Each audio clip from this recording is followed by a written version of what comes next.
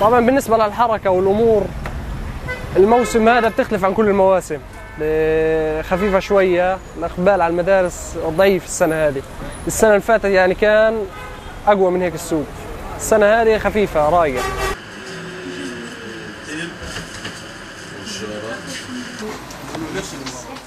الحركة نوعا ما يعني جيدة وفي إقبال. والله آه، بنواجه آه، صعوبات في إنه القماش مثلا مش متوفر الشغلات هاي أو بتيجي غالية نوعا ما عن السنين السابقة.